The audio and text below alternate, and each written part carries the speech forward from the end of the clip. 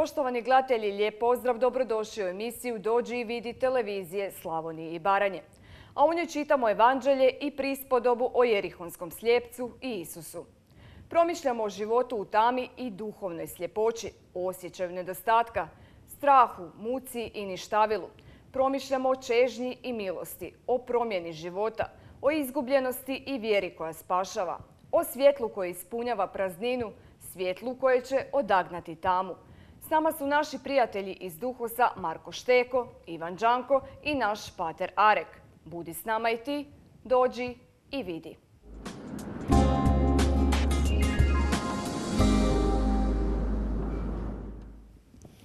I opet smo zajedno u tvojoj kući. Ne znam što sada radiš, možda, ne znam, večeru ili spremaš ručak ili doručak. Ne znam kad puštaju ovo, nije ni važno. Nego jednostavno zajedno smo, bez obzira na vrijeme, bez obzira na, na raspoloženje i moje i tvoje, želimo polomiti Božju riječ. Kako znamo? Nismo neki stručnjaci, nismo neki fanatici. Mi smo Božja djeca koja ponekad i ne zna izraziti svoje osjećaje svoje, svoje znanje koje ima. Zato, brati i sestre, evo, pokušaj odvojiti svoga dragocjenog vremena. Možda si već naumio tamo, ne znam, prebaciti kanal i pogledati nešto drugo. Ne, ne, ostavi još malo i budimo zajedno. U ime Oca i Sina i Duha Svetoga. Amen. Duše sveti koji proničeš svakog čovjeka i poznaš srž, bitak i poznaš naše misli i osjećaje. Uđi u svaku kuću, uđi u svako srce. Ti znaš koliko tu ima sljepoće, ti znaš koliko ljudi danas po tvojoj riječi, ali i po sakramentima u crkvi, u svojoj župi, će progledati. Opet će vidjeti tebe, tvoju veličinu i slavu. Daj da mnogi spoznaju tvoju ljubav, tvoje milosrđe, jer ti si otac milosrđa. Duše sveti uvedi nas u istinu, u svu istinu.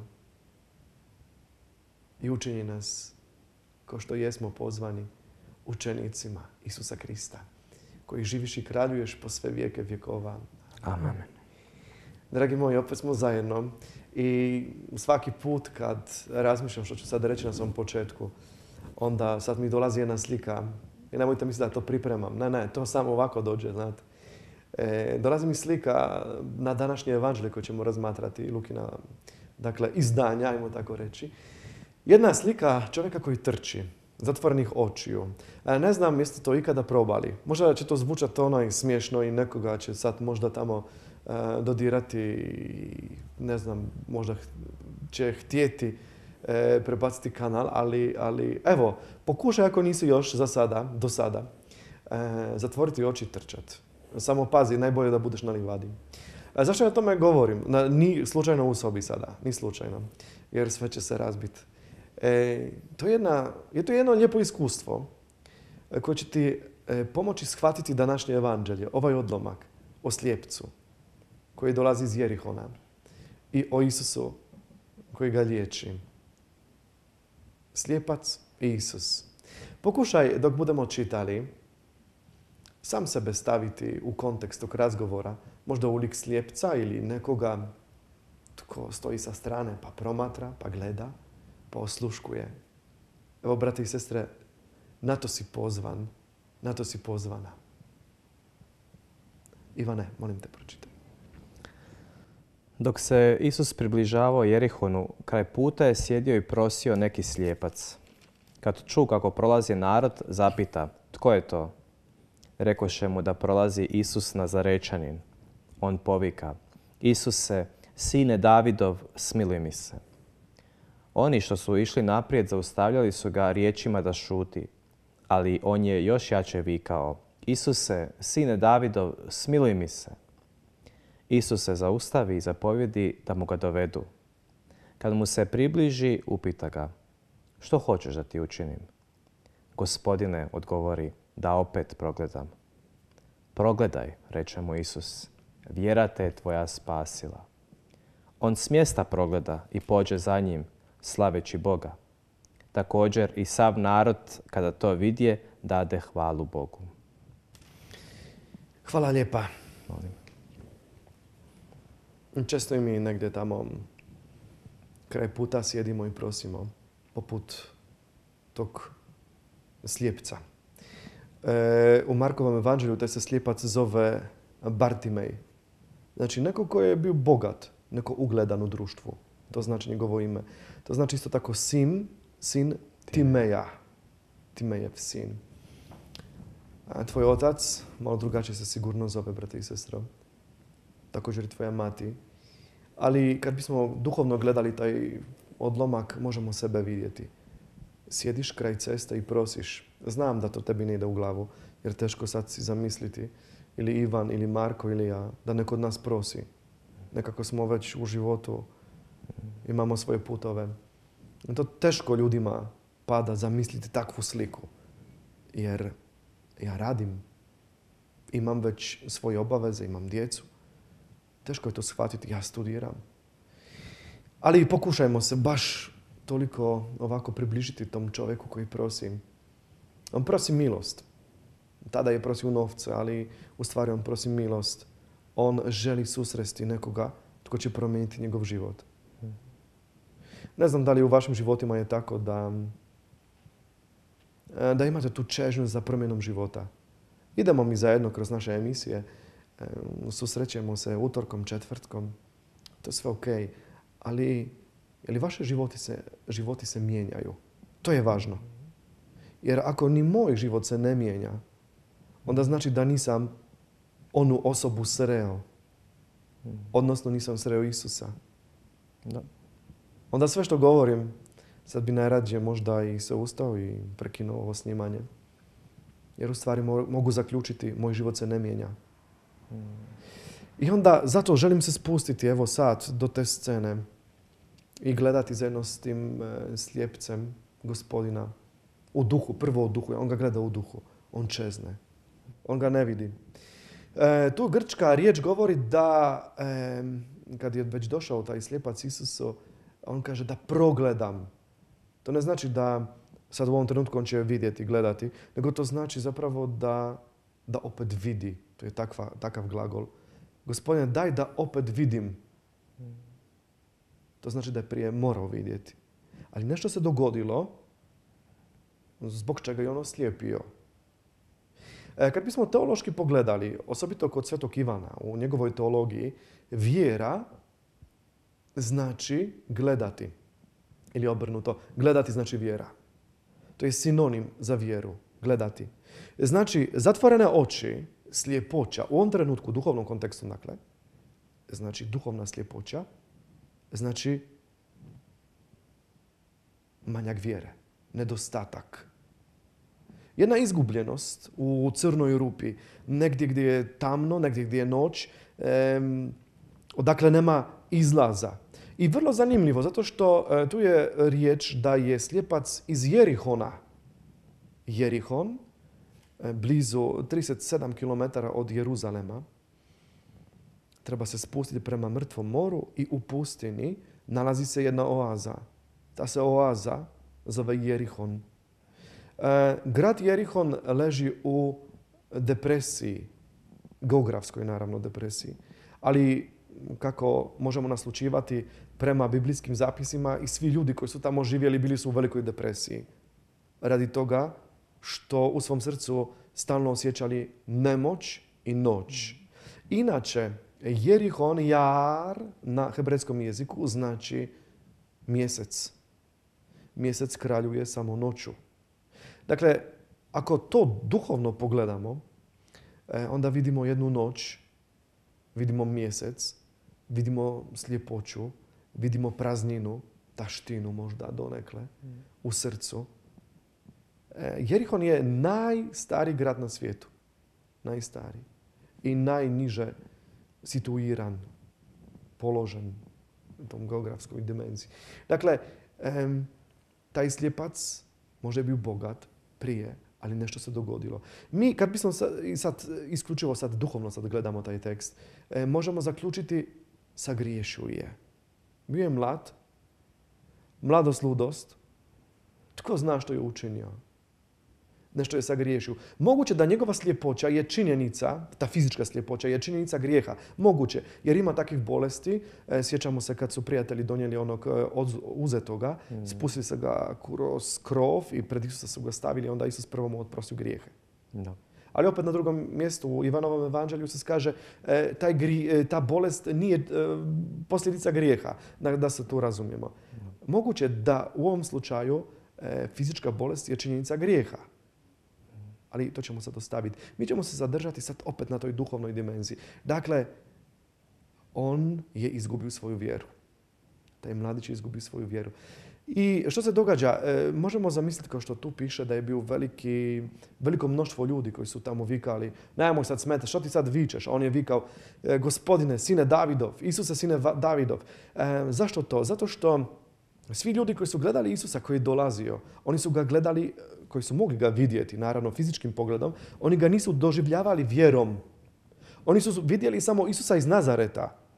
A to znači običan čovjek. To znači Ivan Đanko, to znači Marko Šteko. Isus iz Nazareta. Sin nekog tamo Josipa i neke tamo nepoznate Marije. Ali taj slijepi čovjek zapravo u susretu s Isusom, kad se Isus približava Jerihonu, on osjeća da je tu neko drugi on osjeća moć. On osjeća snagu koja izlazi iz Isusa. Zato vrišti, sine Davidov, smiluj mi se. To znači priznaje Mesiju. E, ne znam da li se vama događa u životu kad su naše oči zatvorene i slijepe, kad smo slijepi, baš na taj duhovan način, kada grijeh ulazi u srce, kada gubimo vjere, kada se događa crna noć, kada više ne, ne vidiš izlaz, onda imaš taj osjećaj nešto ti nedostaje. Ja, na primjer, si pomislim, meni nedostaje žena, meni nedostaje dijete, meni nedostaje majka, meni nedostaje otac, meni nedostaje auto. Jer taj koji vozim je od družbe, nije moj. Meni nedostaje kuća, jer ta u kojoj živim nije moja kuća. I stalno tako nešto nedostaje, jer imam zatvorene oči. Sad pazite, ono nedostaje u biblijskom smislu, kad bismo pogledali već prvo iskušenje e, dakle prvih ljudi, Adama i Eve, onda bismo vidjeli da je to zamka zloga duha. Jer on kaže, vama nešto nedostaje. A nama ništa nedostaje. Jer ako znamo da naš je spasitelj Isus Krist, onda znači da je on nama dao, darovao sve potpuno, u potpunosti. Zato ne može ništa nedostajati zbog moje slabosti, ok, ali zbog mojih zatvorenih očiju često meni nešto nedostaje. Onda mi dolazi u srce muka. Onda dolazi ta to ništavilo. I ono što moja mama zna često reći, Arek, premalo moliš. I to je istina. Ako ja zaboravim na gospodina, ako ja zaboravim na svetu misu, ako ja zaboravim, ne znam, na čitanje Božje riječi, onda nije čudo da tada osjećam strah, osjećam noć, tu i taj jar, taj Jerihon. Onda na kraju krajeva vidim da smo mi svi iz Jerihona. Mi smo svi odande. Mi smo svi iste depresije. Mi smo svi iste tame i noći dolazimo i vapimo. Naravno, ukoliko još možemo. Jer možda neko te ušutkava. Čuj, nemoj vikat. Nemoj, to, dobro ti je tako kako jest. Nemoj biti fanatik. Nemoj biti tu sad neko ispred reda. Ne, ti si niko i ništa. Moguće. O, malo sam se zapričao. Neka, Dečki, neka. oprostite. neka, lijepo je vas i slušati, nadahnute duhom svetim. Ivan. pa, evo, možemo se navezati na to što ste pričali. Opet dolazimo od onog što smo pričali u prošloj emisiji, da budemo kao djeca. Nekako dok sam vas slušao, namećalo mi se jedno rješenje, evo tako kažem, problema životnog, a to je razbašteniti sebe. Razbašteniti sve što imam, sve što posjedujem, sve što znam, što mislim da mogu, da hoću svoje želje, čežnje, razbašniti se pred gospodinom, staviti sve njemu. Jer nemam ništa, moje grijeh samo, a sve drugo je od Boga, sve što je dobro od Boga je moje grijeh. Dakle, sve to staviti pred Boga, sav svoj život, sve čega se čvrsto držim. I to je opet jedan proces nutarnji, to je jedan proces u mojim mislima, to je jedan proces u mome srcu, to je jedan proces u jednoj samoći unutar mene, da, da odvojim vrijeme za sebe i za Boga i da budem onda kao to malo dijete, da vidim sada ništa ja nemam nego tebe. A Isus je rekao, tko ostavi sve poradi mene To nekad ljudi misle to samo za svećenike, gospodin govorio, znači, a nije to govorio nama, ali kaže tko ostavi svoje, svoje, dijete, svoju ženu, svoga oca, svoju majku, to je sveopći poziv nama kršćanima, taj će dobiti stostruko, dobit će novu braću, dobit će nove sestre, dobit će kuće. Kako sad ostavljam, dobijam jedno te isto. A ne, ja to sam si protumačio, dobit ćeš u duha svetoga. Duha svetoga kroz kojega ja vidim da ste vi meni blagoslov vas dvojica, da ste vi moja braća. Da mi niste prijetnja, vi ste moj blagoslov. Sve gledam drugačije, sve gledam kao dar, kao malo dijete. Sve mi je darovao moj tata. Što ja trebam? Primati i znati živjeti kroz taj dar, znati živjeti u tome daru. Djelovati, ne biti malo dijete koje ništa ne čini, djelovati kroz taj dar. Donositi onima koji nisu upoznali Krista sebe, donositi Isusa u meni njima na dar. I tu vidim neko rješenje. To je, to je, to je divno. I to je jedna avantura sada koju nas Bog poziva. Jer mnogi kažu da, da je kršćanin biti dosadno da nama mladima posebice, kada mi govorimo drugima svjedočanstvo svoga života, što je Isus učinio, mnogi kažu, da, ali što onda moram, ne znam, moram moliti, moram nostopići neku zajednicu, moram biti na koljenima, pa kak je to život, ono, Bog je dao radost. Je. Bog je dao strast, znači ne, ne imati strast, ne, nije istina, da, mi smo strastveni. Mi smo u jednoj avanturi, mi smo jedni avanturisti, ne luđaci. Znači, idemo kroz taj život. Ajmo, idemo u tu avanturu da sebe preobrazimo u sili Duha Svetoga. Idemo. Idemo. Znači, nema, nema tu spavanja, nema tu kunjenja. To je jedna dinamika. Tako da, evo, to je neko rješenje i sretan sam što gospodin nam ga nudi. Marko, što ti veliš? Što ja velim? Pa evo, ovoga, meni je jako zanimljivo i baš ovoga, to ide s ovim što je brat rekao, ovoga, taj slijepac kad, kad ga gospodin ozdravlja, ovoga, ne vraća se nazad u to svoje bilo, bilo bogatstvo, bilo to što je, što je, što je bio prije. Nego je pridružio se baš tom, tom narodu, zapravo slici crkve, crkva, zapravo gospodin i sav taj narod, ovoga, pa čak i oni koji su ga ušutkavali ovoga, i počinje slaviti Boga. Znači, ovoga, to je to što on dobiva zapravo, dobiva, dobiva, mm, dobiva crkvu uz Isusa, znači dobiva crkvu, dobiva taj blagoslov, dobiva a, novu braću i sestre tu ljubav, što je recimo sigurno puno nas iskusilo ovoga nakon tog, kažemo, prvog obraćenja, međutim stalno se obraćamo, stalno dobivamo. S druge strane, on baš što je rekao, brat, postaje njihov blagoslov. Dakle, kad su oni vidjeli to što se s njim dogodilo, i oni počinju slaviti Boga. I oni, njima je to još jedna velika radost, znači ovoga. I, i ovoga, jednostavno vidim, vidim, dakle, tu zapravo to je jedno, jedno bogatstvo koje, koje se dobiva zapravo tim razbaštenjem, što je brat evo spomenuo ovoga, što dolazi baš gospodin. Jednostavno kad pustimo iz ruke to neče, nešto čega se čvrsto držimo, ova, koliko više dobivamo. Ali jednostavno ne možeš primiti dok, dok ne pustiš ili dok ti nije prazan dlan. Tako da je... A možemo ove godine milosrđa također vidjeti da je gospodin to milosrđe koga, koga ništa ne zanima osim tebe. Znači, osim čovjeka mnogi su šutkavali ovoga opet, kao ono u prošloj misiji sa malom djecom. Ti si slijepi prosjak i ovaj čovjek, ta, faca koja prolazi, taj Mesija i ovi njegovi učenici, oni imaju, oni imaju velikoga posla, veliki zadatak u pitanju Izrael. U pitanju je, a ti šuti, ti dosađuješ. Ali Isus se po ko zna koji put i koliko još nije zapisano u Bibliji, koliko se puta zaustavljao nas pred svakim siromahom, pred svakim odbačenim, on se zaustavlja, staje i kaže čekaj, ne, ne, ne, ne, on je moj posao, ja sam zbog njega došao. Što hoćeš, što hoćeš da ti učinim? I to je ono što, što bi valjalo da svi ljudi posvijeste koliki nisu doživjeli da su progledali. Zašto? Jer nisu došli do Isusa. Nisu došli do Isusa. I koji idemo na misu samo nedeljom, mnogo puta se ništa ne dogodi jer nisam došao do Isusa. Došao sam obaviti jedan zakon, da tako kaže. Nešto moram, moram ići na misu. Ali uopće nisam došao do Isusa jer nisam uopće pripremao se za Euharistiju, za susret. Nisam ništa promijenilo nakon mise. Ništa. Čežnja u meni nije narasla za milimetar prema Bogu. Jel? I, I, nikako onda da doživim to milosrđe. I često, često u toj sljepoći, jer e, kad se događa sljepoća, mi vidimo, kao što onaj čovjek vidimo, ali kad se dogodi grijeh ne vidimo. Kad ga ispovjedamo opet vidimo, da se razumijemo, to je ovako. E, što ti kažeš, često ljudi gledaju kroz klišeje svetu misu. Na primjer, stolar, kad dođe na svetu misu, on će gledat klupe. Da. kako su sastavljene klupe. I pola 90% sve te misle to će biti klupe. E, učiteljica, profesorica će slušati svećenika gdje je stavio naglasak. Ili neke činjenice koje je čula, tamo nešto selektivno. Kako je pročitana riječ Božja. pro... Da, da, s kojim dakle, to je to. Majka će stalno razmišljati ovaj, jesam li isključila šporet ili nisam. E, I tako dalje, i tako dalje. Dakle, to su ti klišeji koji dolaze e, vrlo često zbog naše sljepoće. I ta naša sljepoća isto se nekako aktivira u tome da mi nemamo čežnju za gospodinom. Mi samo imamo neki ispunjavanje samo nekog obreda. Odem na misu e, zato što tako. Moji su išli pa ja idem. Nedalja pa ne, ne ispadne drugačije da se ne ode. Ili rođen sam u takvoj obitelji gdje su svi katolici pa moram zato ići na svetu misu. Rođen sam u Hrvatskoj pa dobro bi bilo da idem jer tako većina ide.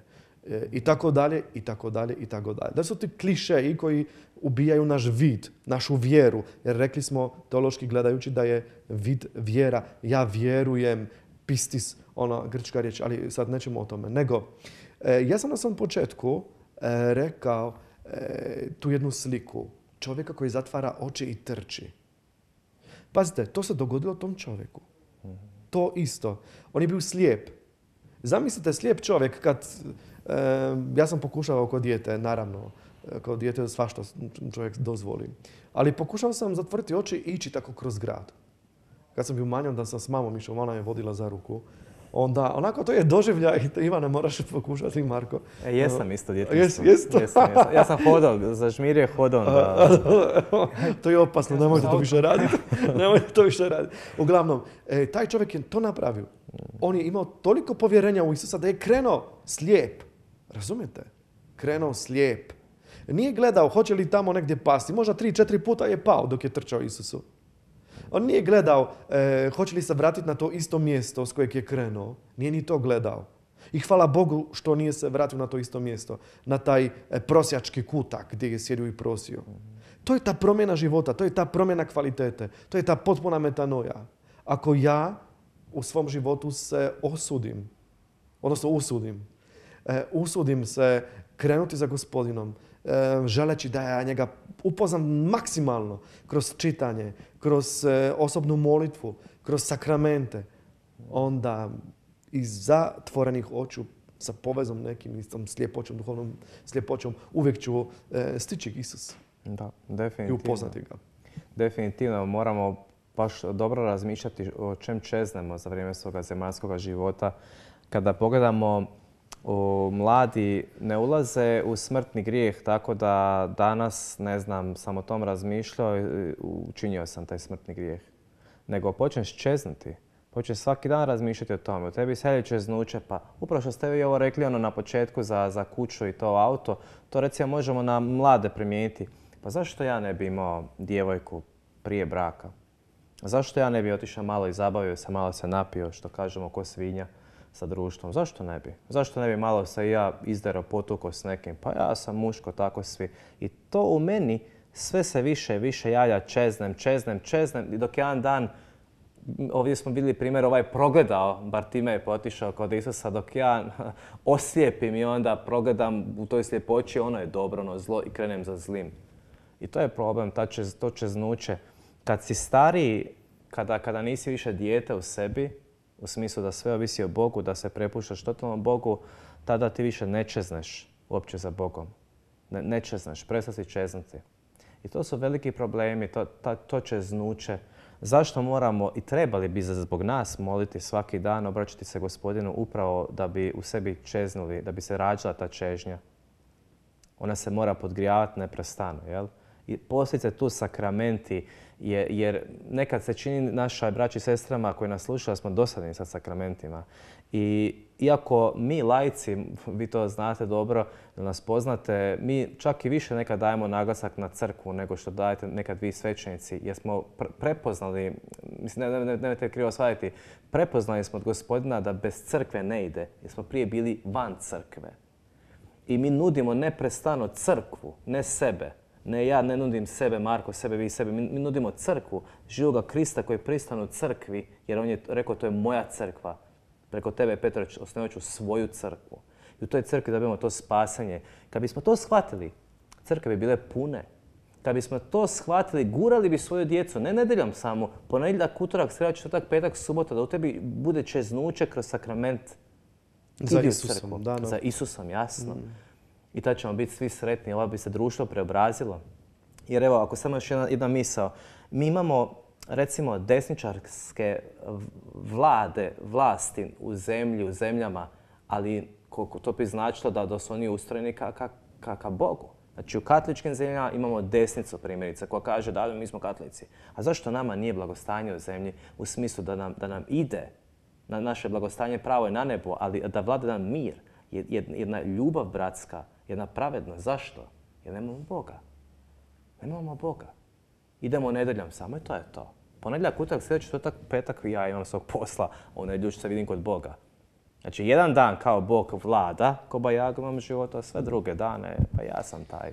Da, često u toj slijepoći isto zna se dogoditi da kad si u društvu, i onda kad progovoriš o crkvi, o Bogu, osobito ovaj, o gospodinu Isusu Kristu, onda ljudi te smatraju da si kao vanzemaljac. E, jednom nekom mi ispričao isto tako, e, došli su roditelji, osoba je objesila neke, ja kažem, svete slike, onaj, pa, ne radi ukrasa, nego radi vjere koja ta osoba proživljava. I onda roditelji su to kao kvesionirali i rekli su kao nemaš e, okus, ukus, jel? E, za, za, za uređenje, za interijer. Za, za Da, estetikom. za estetiku. E sad, znam, e, jasno da nije pokazatelj slika, ne? Ali to je taj neki kontekst u kojem mi se svrstamo, u koji e, ulazimo. Zapravo vidimo da je to ta neka sljepoća, ne? Bojimo se, stidimo. Ha, bit ćemo ugnjetavani, sigurno. To, to se osjeti. Ali e, nismo došli smo, nismo, nismo, nismo došli smo, ajme, nismo se došli boriti na ovaj svijet radi, ne znam, protiv nekoga, e, protiv nečega, nego pozvani smo za ljubav. Da ne ispadne da smo tu neki križari, ne znam, neki borci. Um, ne, djeca. Zato Isus kaže djeca. Isus nije rekao osnujte tamo neku stranku, a, budite tamo, vamo, u saboru, u senatu, kao što je kod nas u Poljskoj. Ne, on to, on to, ne kaže. On kaže budite dijete. Budi dijete. Jasno, trebamo se angažirati da to ne ispane protiv socijalne e, nauke crkve. Ne, ne, radi se o tome, nego radi se o tome da budi prvo dijete. Bit će napast ih, ali zahvaljujte na tome, kaže u blaženstvima Isus.